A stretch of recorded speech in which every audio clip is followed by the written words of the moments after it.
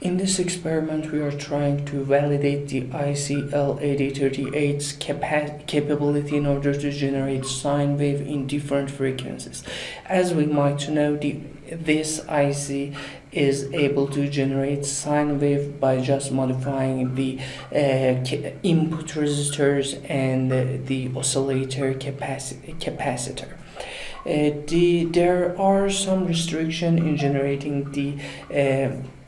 in implementing the input resistor and we should make sure that its uh, value will not exceed 2 uh, micro uh, ampere uh, and would not be less than 10 nanoampere the input current for this IC on the, uh, on the other hand by using the uh, two equivalent uh, resistors for the input we are able to generate the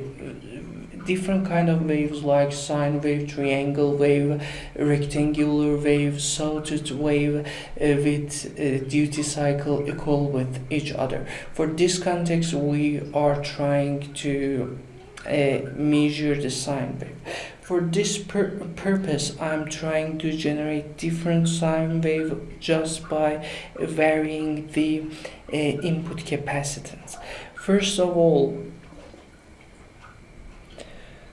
First of all, I'm measuring 10 uh, microfarad capacitor with, which will let me to have 1 microfarad out.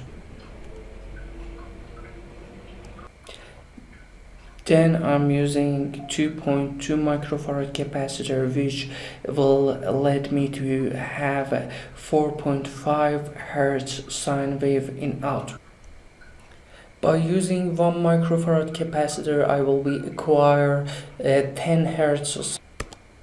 330 capacitor will be end up to generating the sine wave with frequency of 30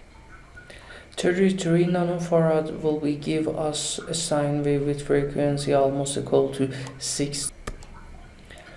100 microfarad, uh, 100 nanofarad will be let us to acquire a sine wave with frequency of uh, 100 hertz. 22 nanofarad is responsible of generating sine wave with frequency of 454 and as a final step we are using a 10 nanofarad capacitor which will give us a 1 kilohertz sine wave and we will use this uh, frequency this uh, modulator in order to drive our strain gauges and trying to deprive all of uncertainty all of the noises which are dominantly exist in DC driving circuits